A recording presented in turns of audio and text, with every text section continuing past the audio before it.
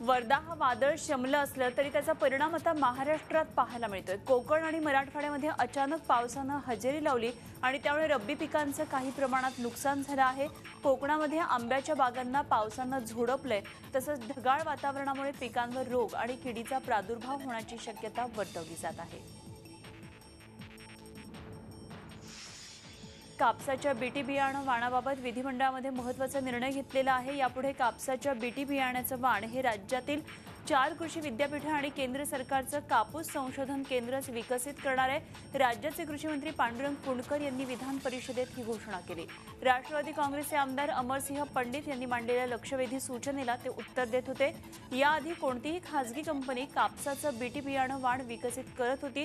अशा सर्व खासगी कंपन्यांना आता कापसाचं बीटी बियाणं वाण विकसित करण्याला मनाई करण्यात आली आहे. दोन हजार अठरामध्ये कृषी विद्यापीठांनी नवं वाण विकसित केल्यानंतर राज्यातल्या कापूस उत्पादक शेतकरी शेतकऱ्यांना प्रति पॅकेट साडेतीनशे रुपये दरानं हे बीटी बियाणं उपलब्ध करून दिलं जाणार आहे. मॉन्सेंटो ही खासगी कंपनी कापसाचं बीटी वाण विकसित करत होती मात्र ही कंपनी शेतकऱ्यांचं शोषण करत असल्याचं लक्षात आल्यानंतर सरकारनं हा निर्णय घेतला आहे कोकण म्हटलं की भात शेती हापूस आंबा आणि मासे. मात्र आता कोकणातले शेतकरी आपल्या शेतीमध्ये वेगवेगळे प्रयोग करू लागलेले आहेत. दुग्ध व्यवसाय पशुपालनाकडे कोकणामधल्या शेतकरी आता वळू लागलाय आधुनिक शेती पशुपालनाविषयी कोकणामधल्या शेतकऱ्यांना माहिती देण्यासाठी नुकतंच कुडाळमध्ये कृषी प्रदर्शनाचं आयोजन करण्यात आलं होतं. ज्यामध्ये विविध जातीच्या गायी म्हशी कोंबड्या लाभा मासे आणि शेतीची विविध अवजारं पाहण्यासाठी सिंधुदुर्ग जिल्ह्यातल्या शेतकऱ्यांनी गर्दी केली होती. नोटबंदीचा परिणाम हा रिअल इस्टेट क्षेत्रावर पडेल. जनतेला मात्र कृषी उत्पन्नात उत्पादनाचे दर कमी झाल्याचं दिसून येत आहे धुळ्यामध्ये किरकोळ भाजीपाल्याचे दर गेल्या दोन वर्षांच्या निचांकावर आलेले आहेत आणि विशेष म्हणजे विक्रीमध्ये पन्नास टक्क्यांची घट आली आहे. सुट्यांच्या प्रश्नामुळे भाजीपाला बाजार पहिल्या दिवसापासून अडचणींचा सामना करत आहे धुळे शहरामध्ये ज्या भाज्या साठ ते ऐंशी रुपये किलोनं विकल्या जात होत्या त्याच भाज्या आता वीस ते चाळीस रुपये किलोप्रमाणे विकल्या जात आहेत. राज्यातल्या जिल्हा बँकांना दिलासा मिळण्याची शक्यता असून या संदर्भात लवकरच निर्णय होण्याची शक्यता आहे. आणि गेल्या काही दिवसांमध्ये नाबार्डनं राज्यामधल्या एकतीस जिल्हा बँकांमध्ये निरीक्षण पूर्ण करून एक अहवाल तयार केला. या बँकामधल्या ठेवी जमा झालेले पैसे झालेले व्यवहार या सगळ्याची सखोल माहिती गोळा करण्यात आली आहे. नाबार्डनं हा अहवाल अर्थ मंत्रालयाला सादर केलाय. जिल्हा बँकांना रोकड देऊन खात्यात पैसे टाकायला काढायला परवानगी द्यावी या दोन मागण्या राज्य सरकारनं केल्या होत्या. या मागण्या आता नाबार्डच्या अहवालानंतर पूर्ण होण्याची शक्यता आहे. अनुदानित शाळांमधल्या शिक्षकांचा पगार देता यावा. याकरिता सोलापूर जिल्हा सहकारी बँकेला एक कोटी अठ्ठावन्न लाखांची रक्कम दिल्याचं स्पष्टीकरण रिझर्व्ह बँकेनं मुंबई उच्च न्यायालयाला दिलेलं आहे. याखेरीज कोणत्याही जिल्हा बँकेला शिक्षकांचे पगार देण्यासाठी निधीची गरज भासणार असल्यास संबंधित जिल्हा बँकेनं तिथल्या स्टेट बँकेच्या शाखेशी संपर्क साधावा. जिल्हा बँकेच्या या प्रस्तावाचा नक्कीच विचार केला जाईल असंही रिझर्व्ह बँकेनं न्यायालयाला सांगितलेलं आहे. जिल्हा बँकांना जुन्या हजार आणि पाचशेच्या नोटा स्वीकारायला आरबीआयनं चौदा नोव्हेंबरला निर्बंध घातलेले होते. रिझर्व्ह बँकेच्या या निर्णयाचा राज्यातल्या काही बँकांनी उच्च न्यायालयात आव्हान दिलेलं होतं आणि त्यावर सुनावणीवेळी रिझर्व्ह बँकेनं उच्च न्यायालयाला हा खुलासा केलाय. या प्रकरणाची पुढची सुनावणी आता एकोणीस डिसेंबरला होणार आहे. गेल्या पस्तीस दिवसांपासून नोटाबंदीच्या निर्णयानं त्रस्त असलेल्या जनतेला आता आणखी एक शॉक बसण्याची शक्यता आहे. उद्या पेट्रोल आणि डिझेलच्या किमतींमध्ये घसघशीत वाढ होण्याची शक्यता वर्तवण्यात आली आहे. आंतरराष्ट्रीय बाजारामध्ये कच्च्या तेलाच्या किमतींमध्ये गेल्या दोन आठवड्यात तब्बल पंधरा टक्के वाढ झालेली आहे. भारताच्या कच्च्या तेलाच्या बास्केटचा दर हा पंचावन्न डॉलर्स प्रति बॅरलपर्यंत वर गेला त्यामुळे इंधन वितरक कंपन्यांना पेट्रोल आणि डिझेलच्या विक्रीमध्ये लिटर मागे सहा रुपयांचा तोटा होत असल्याचं पुढे आलंय. त्यामुळे दर पंधरा दिवसांनी होणाऱ्या दरांच्या पुनरावलोकनामध्ये सरकारी तेल कंपन्या दर वाढवतील अशी चिन्ह आहेत. आणि आता हे दर वाढवताना जनतेला दिलासा देण्यासाठी सरकार इंधनाच्या अपकारी करात कपात करेल अशी शक्यता आहे. त्यामुळे दरवाढीचा सामान्यांच्या खिशावर होणारा परिणाम कमी करण्यास मदत होईल. पण कर कपात झाली तरीही पेट्रोल आणि डिझेलचे दर हे प्रति लिटर तीन ते चार रुपये वाढतीलच असा तज्ज्ञांचा अंदाज आहे. पिंपरी चिंचवडमध्ये वाकड पोलिसांनी सदुसष्ट लाखांची रोकड जप्त केली. यामध्ये जवळपास बासष्ट लाखांच्या नव्या नोटा आहेत आणि या प्रकरणी वाकड पोलिसांनी आठवले गटाच्या रिपब्लिकन पक्षाच्या रोजगार आघाडीचे उपाध्यक्ष अमित सुरेश यांना यांच्यासह चार जणांना ताब्यात घेतलेलं आहे. एक मोटर संशयास्पदरित्या थेरगावमधल्या एका सोसायटीजवळ थांबल्याचं पोलिसांना दिसले. पोलिसांनी मोटारीची झडती घेतली.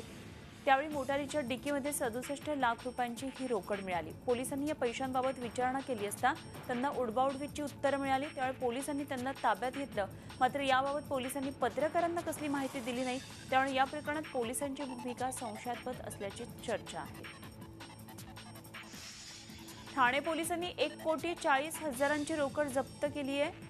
जप्त केलेल्या सर्व या नोटा चलनातल्या नवीन नोटा आहेत. या प्रकरणी तीन आरोपींना अटक करण्यात आलेली आहे. तिघे आरोपी ठाण्यामधले व्यावसायिक आहेत.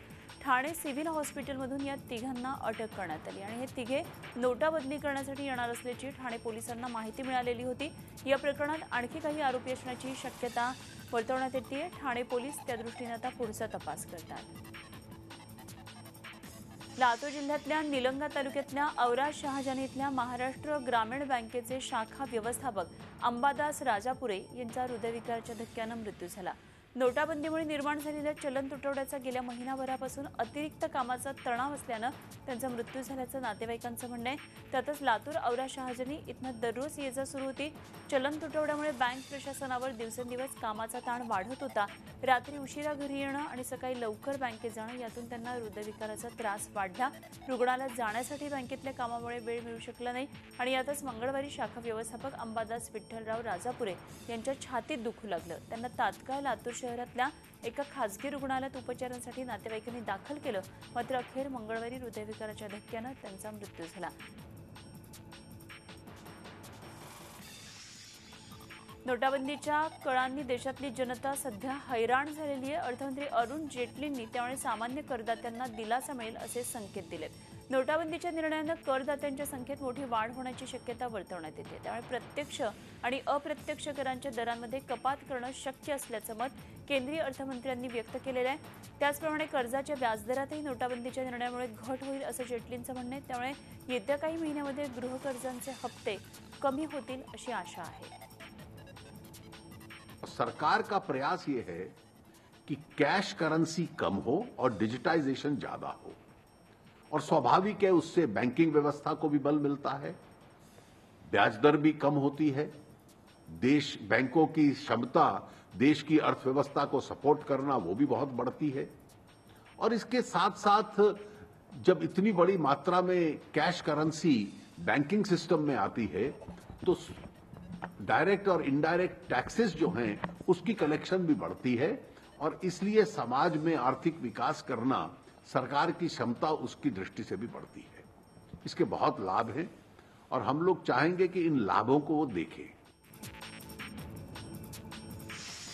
मराठा आरक्षणाबाबत तातडीनं भूमिका घेतली गेली नाही तर बुलेटनं नव्हे तर बॅलेटनं उत्तर देऊ असा इशारा मराठा मोर्चाच्या शिष्टमंडळानं दिलाय. नागपूर विधान भवनामध्ये जाऊन दोन वाजण्याच्या सुमारास मराठा मोर्चा शिष्टमंडळानं मुख्यमंत्र्यांची भेट घेतली. त्याआधी सकाळी नागपूरमध्ये मराठा क्रांती मुकमोर्चाचं आयोजन करण्यात आलं होतं. सर्वपक्षीय आमदार या मोर्चामध्ये सहभागी झाले होते. मॉरिट टी पॉइंट इथं या मोर्चाची सांगता झाली. मराठा समाजाच्या वतीनं या मोर्चाचं आयोजन करण्यात आलं होतं. राज्यातले अनेक बडे नेते नागपूरच्या मराठा मोर्चात सहभागी झाले असले तरी राष्ट्रवादीचे बडे नेते आणि माजी उपमुख्यमंत्री अजित पवारांनी या मोर्चाला दांडी मारली. बारामतीसह पुणे जिल्ह्यातल्या दहा नगरपालिकांमध्ये आज मतदान होते आणि यामध्ये पवारांची प्रतिष्ठा पणाला लागली आहे भाजपचे गिरीश बापट जिल्ह्यामध्ये तळ ठोकून बसलेत. नगरपालिकांच्या पहिल्या टप्प्यात राष्ट्रवादी काँग्रेसला मोठा दणका बसलाय आणि त्यामुळे पक्षाचे नेते जास्त सावध झालेले आहेत. बालेकिल्ल्यामध्ये फटका बसू नये यासाठी पवारांनी जोरदार मोर्चेबांधणी केली होती.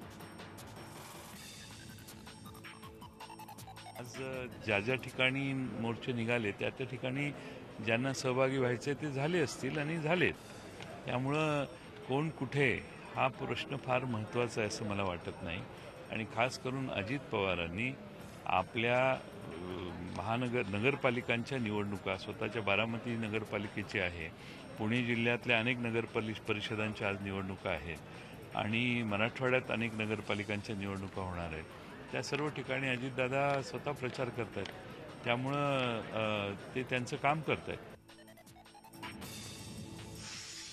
कोल्हापूर शहरामध्ये आज बहुजन क्रांती मोर्चा काढण्यात आला. यामध्ये S C S T N T Christian आणि मुस्लिम बांधव मोठ्या संख्येनं सहभागी झाले होते. कोल्हापुरातल्या ऐतिहासिक दसरा चौकातून या मोर्चाचं आयोजन करण्यात आलं होतं. कोल्हापूर सांगली सातारा कर्नाटकातल्या काही भागातून मोठ्या संख्येनं आंदोलक या मोर्चामध्ये सहभागी झाले होते. अॅट्रॉसिटी कायद्याची कठोरपणे अंमलबजावणी करण्यात यावी अशी मागणी यावेळी करण्यात आली. तसंच ओबीसींच्या आरक्षणाला धक्का न लावता मराठा समाजाला आरक्षण द्या. मुस्लिम पर्सनल लॉ बोर्डाच्या निर्णयात सरकार सरकारनं हस्तक्षेप करू नये अशी मागणी पुढे करण्यात आली आहे. धनगर समाजाला लोकसंख्येच्या प्रमाणात आरक्षण मिळालं पाहिजे अशा अनेक मागण्या या मोर्चाच्या वेळी करण्यात आल्या.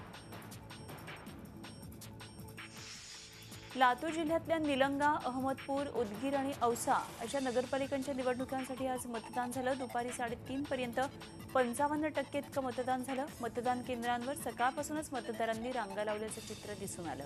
चार नगरपालिकांमधल्या चार नगराध्यक्ष आणि पन्नास प्रभागातले एकशे एक नगरसेवकांचं भवितव्य आज या मतदान यंत्रांमध्ये बंद झालंय.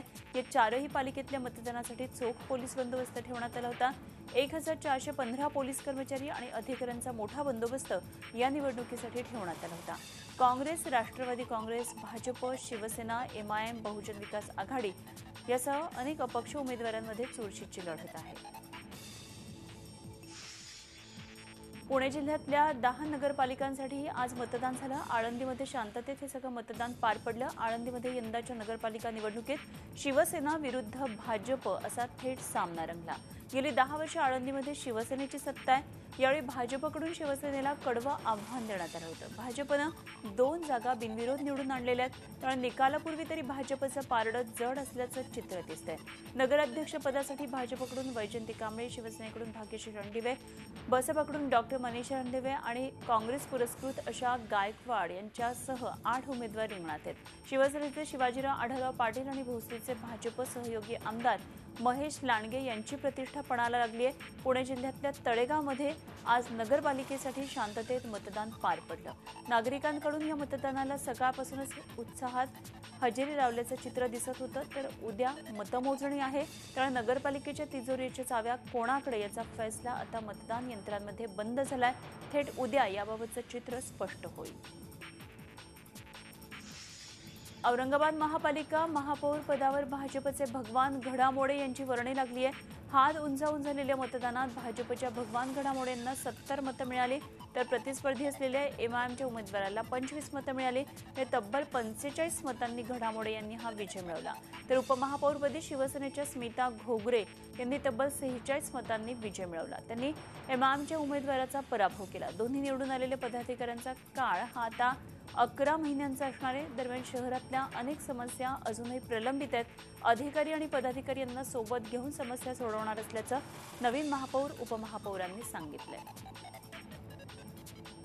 भारतीय जनता पार्टीच्या माध्यमातून मुख्यमंत्री देवेंद्र फडणवीस आणि केंद्रात सुद्धा सरकार असल्यामुळं अनेक योजना आणि अनेक फंड्स आणून आम्ही या शहराचा एक कायापालट करण्याचा निर्धार केलेला आहे आणि तो आम्ही सगळे मिळून करणार असं मी तुम्हाला सांगू इच्छितो. छगन भुजबळ यांना मुंबई उच्च न्यायालयानं जबरदस्त दणका दिलाय. आपल्याला ईडीनं केलेली अटक ही चुकीच्या पद्धतीनं केलेली अटक आहे असा दावा करणारी याचिका छगन भुजबळ यांनी मुंबई उच्च न्यायालयामध्ये दाखल केलेली होती आणि ही याचिका मुंबई उच्च न्यायालयानं फेटाळून लावली. मुंबई उच्च न्यायालयात झालेल्या सुनावणीत न्यायालयानं छगन भुजबळांची याचिका फेटाळली त्यामुळे ईडी कस्टडीतून बाहेर पडण्याची छगन भुजबळांची धडपड दुसऱ्यांदा अयशस्वी ठरली. याआधी तब्येतीच्या आधारावर छगन भुजबळांनी जामीन अर्ज केला होता आणि त्यावर न्यायालयानं विशेष डॉक्टरांचं पथक स्थापन केलं होतं. भुजबळ हे ठणठणीत आहेत असं या डॉक्टरांनी दिलेल्या अहवालानंतर मुंबई उच्च न्यायालयानं छगन भुजबळांचा जामीन अर्ज फेटाळला होता. आणि पुन्हा आपल्याला ईडीनं केलेली अटक ही चुकीच्या पद्धतीनं केलेली अटक आहे असा दावा करणारी याचिका भुजबळांनी मुंबई उच्च न्यायालयात केली केली होती तीही आज फेटाळून लावली.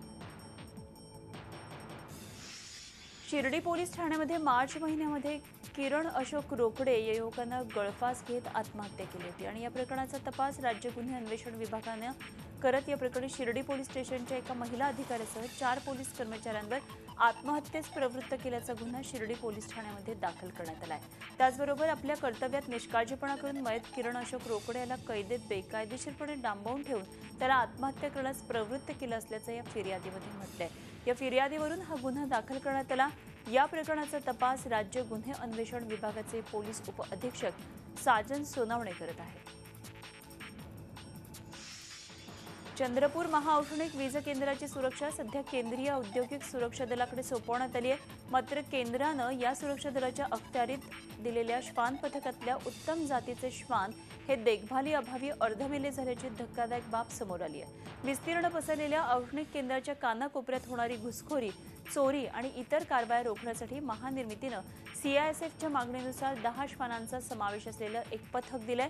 Messrs marshal dog squad Thane या खासगी कंपनीला श्वान पुरवठ्याचं कंत्राट महानिर्मितीनं दिलं. रात्रंदिवस अशा दोन पाळीव पाच श्वान इथं तैनात जवानांसह विविध ठिकाणी गस्त घालतील अशी योजना आहे. यामध्ये पुरवण्यात आलेले doberman German shepherd labrador rottweiler अशा उत्तम जातीचे श्वान अर्धमेले आणि मरणासन्न अवस्थेत आहेत. त्यांच्या जेवणाची वैद्यकीय उपचारांची आणि देखभालीची सोय नाही आहे यातल्या काहींना जखमा देखील झालेल्या आहेत.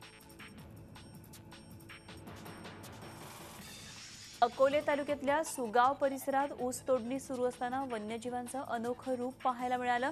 सुगाव इथल्या शंकर देशमुख यांच्या शेतात सोमवारी सकाळी ऊसाची तोडणी सुरू असताना कामगारांना बिबट्याचे तीन लहान बछडे दिसले. त्यांनी त्वरित अकोले वनविभागाला कळवलं. घटनेचं गांभीर्य लक्षात घेत वनक्षेत्रपाल आर के सगभोर यांनी त्वरित त्या ठिकाणी जाऊन ऊस तोडणी थांबवून पिल्लांना कोणीही हात लावू नये असं सांगितलं. बिबट्याची पिल्ला आठ ते दहा दिवसांची असल्यानं दूध पाजून ती जगू शकणार नसल्याचं त्यांच्या लक्षात आलंय. अखेर वनक्षेत्रपालांच्या मार्गदर्शनाखाली ऊसतोड बंद ठेवण्यात आली आणि एका हिंस्र प्राण्याचं प्रेमळ रूप कॅमेऱ्यामध्ये कैद झालं. सलग तीन वेळा महाराष्ट्र केसरीचे गदा जिंकणाऱ्या मल्ल विजय चौधरीचं चाळीसगावमध्ये आगमन झालं. विजयचं सुवासिनींनी औक्षण करून स्वागत केलं. यावेळी आपल्या लाडक्या मल्लाची वाजत गाजत मिरवणूक काढण्यात आली. कुस्तीसाठी मोलाचं मार्गदर्शन लाभलेल्या मित्राच्या भेटीला विजय चौधरी चाळीसगावला आला होता आणि त्यानंतर तो त्याच्या सायगाव या गावी यात्रेनिमित्तानं होणाऱ्या कुस्ती भारतीय सैन्य दलाच्या बांगला मुक्ती संग्रामातल्या दैदिप्यमान विजयानिमित्तानं कराड इथं दरवर्षी विजय दिवस मोठ्या उत्साहात साजरा केला जातो. कराड शहरामध्ये आज भव्य शोभायात्रेनं आणि शस्त्र प्रदर्शनानं विजय दिवस समारोहाची सुरुवात झाली. सातारा जिल्ह्यातल्या शहीद झालेल्या वीरपुत्रांना मानवंदना देण्यात आली. कराड शहरातल्या विद्यार्थ्यांनी विविध सैनिक वेशात देशप्रेमाची प्रात्यक्षिकं सादर केली. हा सोहळा तीन दिवस रंगणार आहे. रत्नागिरी हातखंबा मार्गावर चांदसूर येथल्या अपघाती वळणावर भीषण अपघात झाला. हातखंब्याकडून रत्नागिरीच्या दिशेला वाहतूक करणाऱ्या ट्रक चालकाचं ट्रकवरचं नियंत्रण सुटलं आणि हा ट्रक रत्नागिरीकडून हातखंबाच्या दिशेने जाणाऱ्या ट्रकवर आदळला. या ट्रकच्या मध्ये एक दुचाकीस्वार चिरडला गेला.